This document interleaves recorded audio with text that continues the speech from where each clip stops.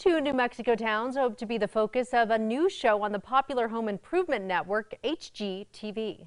We want to get back to those days whenever Main Street was full, our storefronts were full, and um, you know, show people what a great community we are.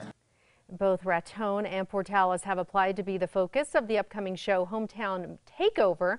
The six episode show will send HGTV personalities Ben and Erin Napier to a small town to renovate businesses, homes, and other public spaces. Both New Mexico communities say the each hold a uniqueness that deserves to be shared. We are the lost part of New Mexico. We aren't the Pueblos, we aren't the high mountains, but we have winds that talk in a thousand voices. We have grasses that provide their own oceans. And we have a community where cowboy is still a title.